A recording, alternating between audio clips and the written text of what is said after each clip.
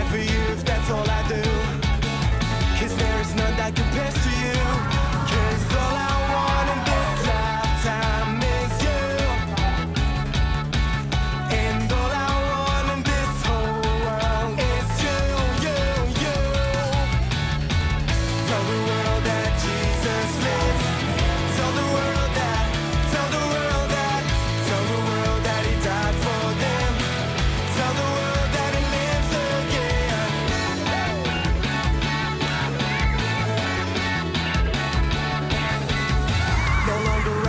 Christ in me.